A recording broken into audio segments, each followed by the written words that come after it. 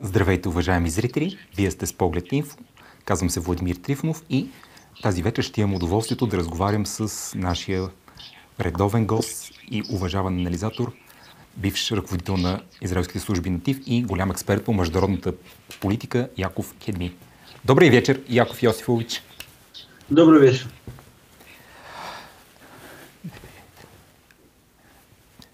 Сегодня, несколько часов назад, состоялся разговор э, германским канцлером Шолцем с российским президентом Владимиром Путиным. Как вы оцениваете этот, разговор? Почему же он состоялся и э, почему сейчас Шолц созвонился Путину при положении, что в Германии идет очень жесткий политический кризис? Наверное, на следующем году, еще в феврале, будут досрочные выборы. Как вы оцениваете то, что происходит в Германии, и то, что сейчас Путин, э, Шольц созвонил Путину? Ну, э, два года э, Шольц не звонил Путину.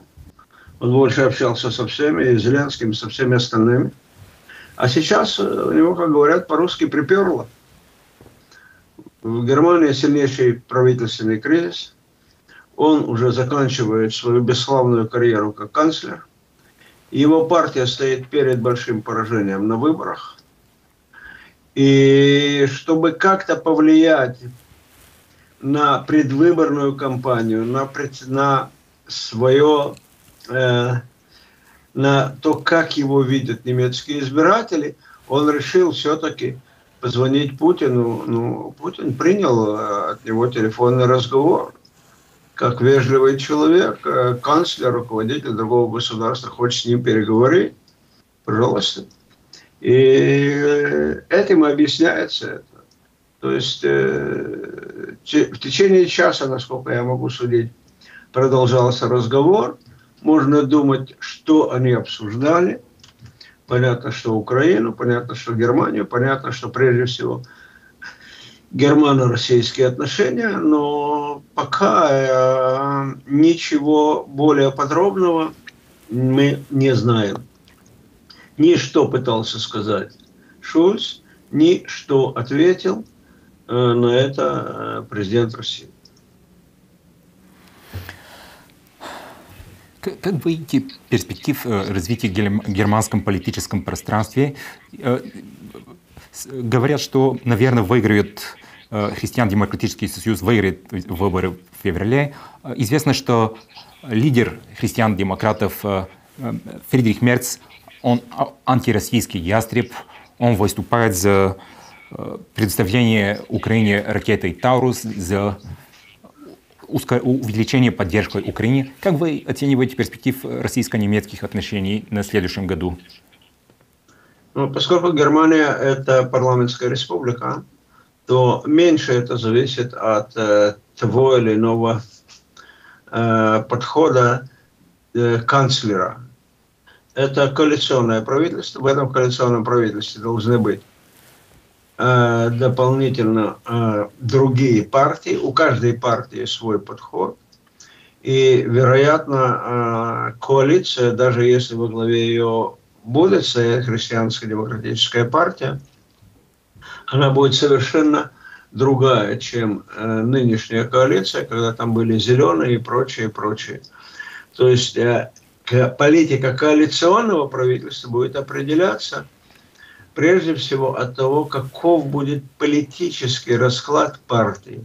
То есть сколько получат партии, э, которые выступают против нынешней политики по отношению к России, к Украине, и сколько будут получат партии как бы более нейтральные к этому, и сколько получат партии или лидеры партий, которые занимают резко русофобскую или антироссийскую политику. Вероятно, что такая коалиция, как сегодня, она уже не будет. Она будет более умеренная по отношению к России, если не больше.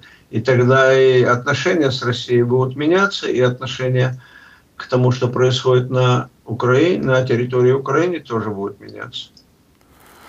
А, в этом плане очень интересно, что 113 депутатов Бундестага требуют оппозиционную партию «Альтернатива для Германии».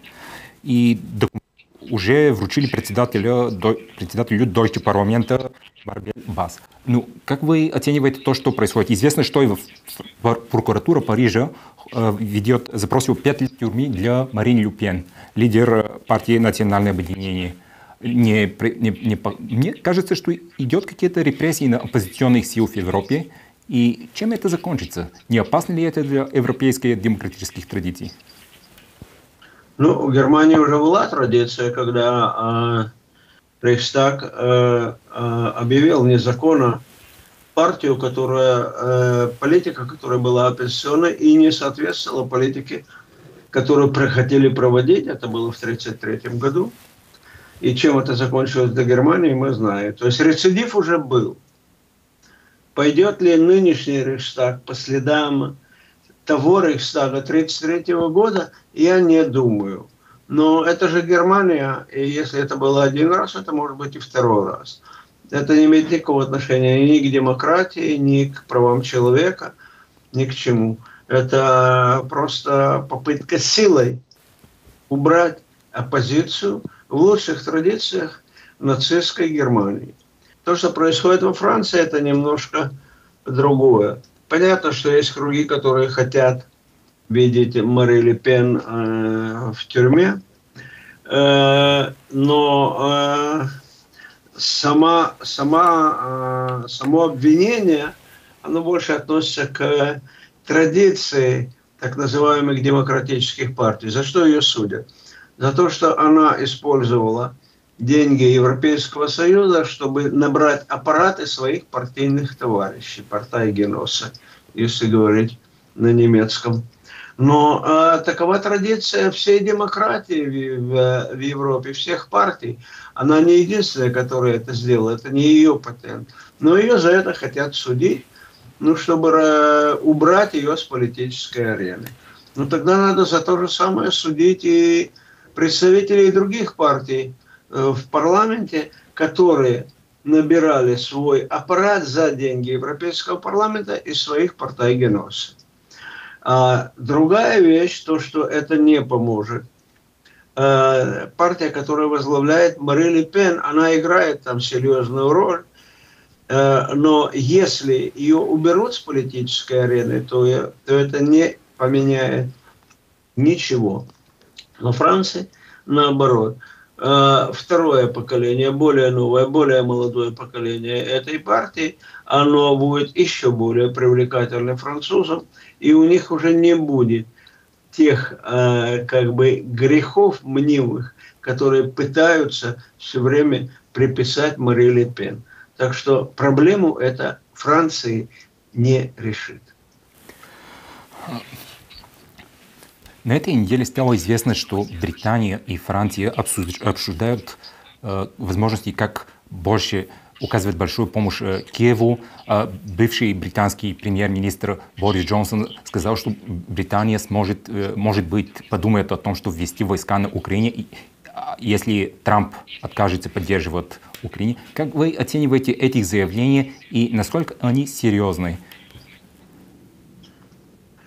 Ну, а нищие, обанкротившиеся пытаются как-то договориться, чтобы э, еще провести еще одну или довести до конца еще одну авантюру, которая э, резко навредила их странам. Ну, Борис Джонсон, ну что о нем можно говорить?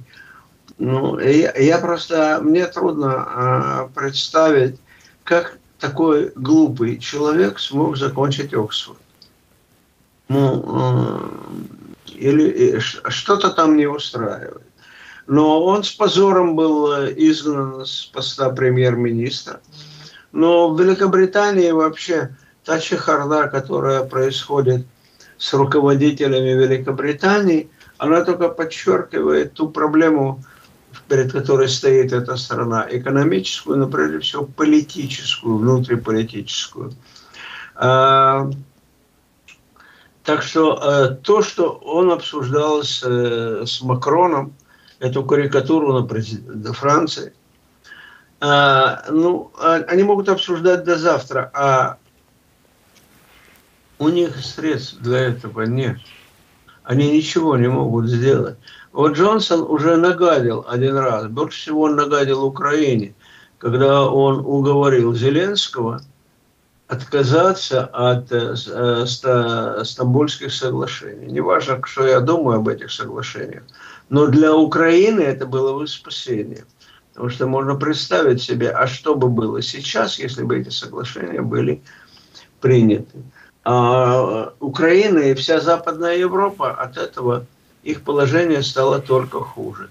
У Джонсона ничего нет умного, кроме сказать, ну давайте дадим еще им несколько ракет с дальним радиусом действия.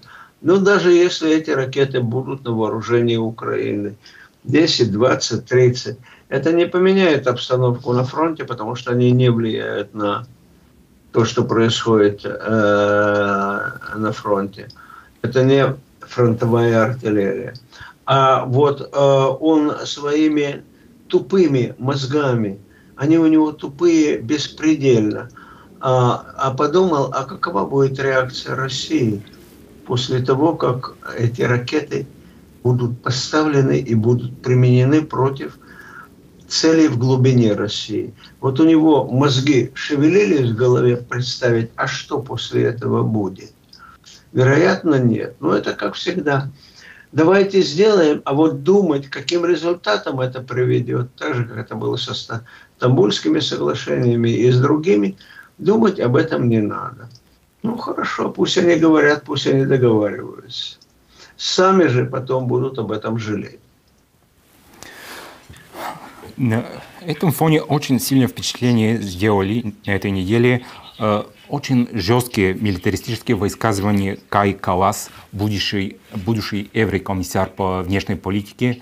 Э, она заявила, что намерена тесно, сотрудничать с литовским будущим министром, еврокомиссаром обороны и космоса, русофобом Андрюсом Кубиусом. Э, почему в Евросоюзе делают столько жесткие высказывания и заявления, когда Трамп выиграл в США, когда он подает какие-то, подает какие-то сигналы, что будет стремиться к урегулированию украинского кризиса, что, что, что пытается сделать Европейский Союз? Может быть, э, подставить, э, подставить Трампа, чтобы он, конфликт расширился, и он ничего не смог бы сделать, даже если хочет, чтобы был мир?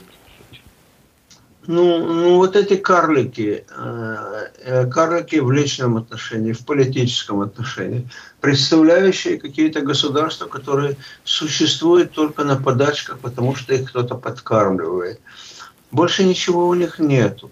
Кроме русофобии и э, э, высказываний против России, они сами-то практически ничего не могут. Что Эстония может? что Литва может. А если они думают, что своими криками, своими истериками они заставят Соединенные Штаты менять свою политику, то они ничего не понимают ни в Соединенных Штатах, ни, ни, ни в Европе. А, а им больше ничего не остается, у них больше ничего нет. Это единственное, чем, на, чем, на чем они строили свою карьеру. А теперь они по инерции продолжают заниматься тем же самым. У Трампа только одна цель – интересы Соединенных Штатов. И если кто-то думает из этих карликов европейских, э, что Соединенные Штаты могут подчинить свои национальные интересы капризам этих бездарных политиков и этих слабых, с трудом существующих государств, то они очень и очень об этом а, ошибутся. Трамп будет проводить свою политику. И как человек э, не из э, интеллектуального мира университетов, он ее будет проводить жестко. И он никому не даст э, менять интересы Соединенных Штатов, подгонять их под себя. Так что э, они этим самым только навредят и себе, и своим странам, и Европейскому Союзу. В конце концов, Трамп уже высказывался по поводу НАТО и по поводу Европейского Союза. Если они перегнут палку, он их просто пошлет. На 19 ноября будет встреча министров обороны государств из Европейского Союза. Они будут обсуждать э, возможность разрешить Украине ударить ракетами вглубь российской территории. На вашем, по-вашему, будут ли какие-то серьезные военные последствия для России, если они этого разрешат? И существует ли опасность, что боеконфликт был, был интенсифицировался, он может быть э, расширить свой обхват не только на Украине, если это сделает, конечно. Это, это решат европейские политики. Это навредит этим государствам, это навредит Украине, и удар России может быть намного более сильный и неожиданный, чем они даже могут себе представить. И не зря президент России предупредил, что э, ясно намекнув, что такие действия могут позволить России начать применение тактического ядерного оружия против того, кто это применяет. И если это будет с территории Украины, на территории Украины. А если это будет с другой территории, даже против той территории. Так что они играют с огнем. От этого пострадает не Россия. Ущерба России серьезного они не могут принести. А вот а им может быть нанесен серьезнейший ущерб, как военный, так и политический, так и экономический. Видно, что в Европе партия войны, с Россией очень сильна. Но если в Европе партия мира, пока кажется, что только Венгрия и Словакия стоят в этой партии мира. А может быть, на следующие четыре года она расширит свой обхват, свое влияние? Может быть, другие государства присоединятся к Венгрии и Словакии? Эта э, картина немного обманчива. Европейская бюрократия, вот она антироссийская, русофобская и больше гонит, э, э, э, больше пытается обострить отношения с Россией. Но эта европейская бюрократия, она оторвана от своих стран. А вот процессы, которые идут в каждой европейской стране, они совершенно другие. Мы говорили о Германии, это совершенно ясно. То же самое в Австрии. То же самое начинается в других странах, Нидерланды, если посмотреть на э, премьер-министра Нидерландов. То есть этот процесс, который вел, э, шел до сегодняшнего дня в европейском бюрократическом руководстве, которое действовало в своих интересах, не обращая на интересы стран, которые они представляют, он уже закончился. А теперь все больше и больше сами страны и их представители будут определять это направление этого процесса. И если Германия и Австрия выйдут из этого процесса, то что останется? Хм. Э, несколько дней назад очень интересное заявление сделал министр иностранных дел Финляндии Элина Вальтунен. Вот что сказала она. Нейтральный статус Украины не является решением проблем в отношениях с Россией. Модель финляндизации то есть мирного существования с Россией по примеру, по примеру мирного существования Финляндии и Советского Союза для Киева не подходит, подчеркнула она. Почему же она сделала такое заявление и настолько серьезной для России угрозы с севера после таких жестких высказываний скандинавских политиков? А для Финляндии это подходило? Подходило. А на чем Финляндия создала свою экономику? За счет чего она выросла? За счет чего Финляндия сегодня такая? Только за счет отношений с Россией. И то, что за счет того, что через нее Россия проводила большое, большую часть своих экономических контактов с Западом. А теперь Финляндия на что, на что, на чем базируется? И если это было для Финляндии благом на протяжении более 50 лет, то почему это не подходит на Укра... для Украины? То есть если Украина, ну, Украина должна быть русофобской и антироссийской, такой Украины не будет. Она не понимает, что Украина может быть только существовать в качестве государства, которое поддерживает дружеские и нормальные отношения с Россией. Качестве антироссии Украины не будет. То же самое я могу сказать с Финляндией. Россия не занимается Финляндией. Но Финляндия долго не протянет, если она будет относиться к России так, как она относится. Она просто надорвется экономически. Она никому не нужна, только как база против России. А Россия не любит, когда страны вокруг нее становятся базой для агрессии против нее. И будет относиться к таким странам все более и более жестко. Мне очень хочется обсудить еще некоторые процессы в Европейском Союзе. Ну, во-первых, э, очень э, сильное впечатление сделал так называемый амстердамский инцидент, когда группа футбольных фанатов э, напали на израильских болельщиков. Потом через этот инцидент были несколько схожих инцидентов во Франции и в других странах. Это по-вашему, это серьезный сигнал, что что-то не, не так в европейских обществах? Или, может быть, это какие-то отдельные инциденты? Это еще одно, еще одно свидетельство того, что это безответственная политика. Поощрение и свободного доступа иммигрантов из Африки и из с Востока, особенно мусульманских, в свои страны, и неспособность овладеть их э, действиями, которые совершенно противоположны тому, что принято в этих странах. И распущенность, которую их довели, она угрожает прежде всего этим странам. Ну, израильские болельщики, ну, приехали и уехали, хорошо, на футболе болельщики часто дерутся. И это не э, такое удивительная вещь. То, что эти самые беженцы, они э, антиизраильски настроены, и пытаются все время атаковать и израильтян, и идут во главе антисемитского движения в Европе, ну, это тоже всем известно. Но э, это все ведет к тому, что вот в Германии эти вот самые так называемые беженцы, они немецких женщин насилуют, не израильских. Они немцев бьют.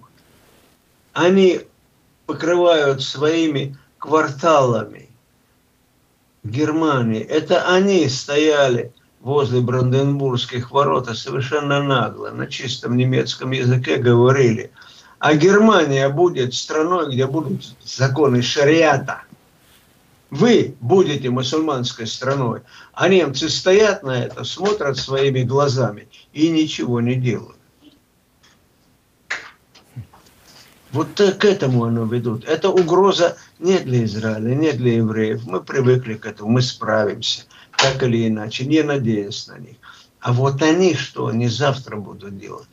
Потому что эти бандиты, эти распущенные террористы, они же не остановятся, только разбивая стекла возле стадионов. Они немцев будут бить, французов будут бить, итальянцев голландцев, что происходит в Швеции. Это они в своих странах боятся зайти в мусульманские кварталы уже. И эти, такие кварталы есть уже в Берлине, я уже говорю про города. И во Франции. Так что это их проблема. И они будут за это расплачиваться. И если они не опомнятся, то их страны будут под угрозой. Известно, что брюссельская бюрократия очень, очень жестко отреагировала на победу Трампа. Так, например, э, еврокомиссар по внешней политике Барел сказал, что Трамп — это новая Франко. Э, как вы оцениваете перспективы взаимодействия евробюрократии с Соединенным Штатами? Будет ли этих предстоящих четыре лет какой-то э, поворот политики Европейского Союза. Может быть, центр э, власти придет с Брюсселя к национальным правительствам? Или, может быть, все будет как, как было и до, сейчас, до, до сегодняшнего дня? Антиамериканская Европа – это, конечно, очень интересно. Но Европа не может быть и против России, и против Соединенных Штатов, и против Китая. Она же слаба. И американцы очень-очень эффективно ее ослабляют. Они подорвали сейчас промышленность Германии и продолжают из нее выкачивать. То же самое с европейской промышленностью других стран, даже дружественной англосакской э, Великобритании. А Соединенным Штатам, если они не будут видеть Европу как дружественное государство, которое согласно поддерживать интересы Соединенных Штатов, так они, они от нее откажутся. Зачем она им нужна? Кого она интересует? Она интересует как рынок сбыта, она интересует как военный партнер, она интересует как политический партнер. А если она становится врагом Соединенных Штатов, ну, так Соединенные Штаты без Европы проживут. А вот Европа без Соединенных Штатов нет. А Европа и без Соединенных Штатов, и без Китая, и без России. Так что это будет? Из Африки ее уже выкинули. На что они надеются? И кто? Кто они такие, что они будут указывать, кому быть президентом Соединенных Штатов?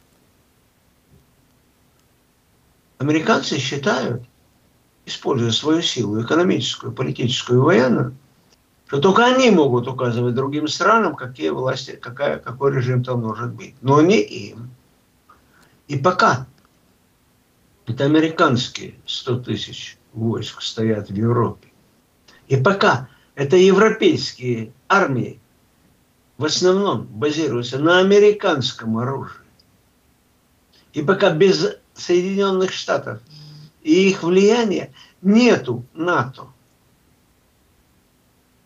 Даже ни одна страна в Европе, кроме Франции, без американской помощи не продержится и дня. Вся военная промышленность ее рухнет. И британская, немецкая, а больше там ничего нет. Больше ничего Как вы оцениваете далеко идущие планы милитаризации Европы, которые озвучила несколько дней назад Кая Калас, ну и перед этим, например, германский министр обороны Пасториус тоже сказал, что Германия будет готовиться вооружаться. К чему приведет процесс милитаризации Европы? Ну, когда Эстония говорит о милитаризации и усилении военной составляющей, это даже не смешно. А вот эти представители, вот этот министр обороны Германии, он уже бывший. Он не будет министром обороны в, в, в новой Германии после выборов. Как и канцлер этот не будет после выборов. А у Германии есть силы создать свою армию и свою военную промышленность. Да у нее никогда ее не было если бы не помощь Соединенных Штатов, американских компаний, начиная от Форда и кончая другими, не возникло бы, не было бы построено в Третьем Райхе военная промышленность. Кто ее создавал? Американцы, американские компании. То есть Европа уже давно не в состоянии встать на ноги. Если бы не план Маршала, Европа давно бы уже была на помойке. Великобритания может что-то сделать без американской помощи? В экономике, в армии, в военной. Ни одна подводная лодка у нее не будет, ни одной ракеты, ни одной подводной лодки, ни одного самолета, ни одного танка. Ни в Германии, ни в Великобритании.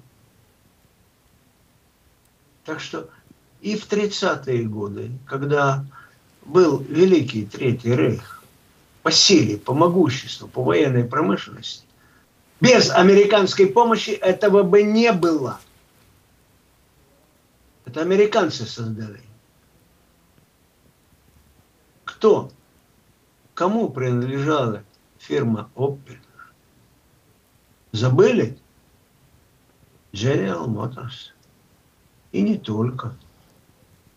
Так что пусть европейцы немножко опомнятся и поймут, в каком мире они живут. В начале 20 века они уже не могли без Америки. А сейчас, в 21 ничего они не могут. А еще, пытаясь э, задираться и с Россией, и таким маленьким государством, незаметным в мире, со слабой экономикой, которая называется Китай.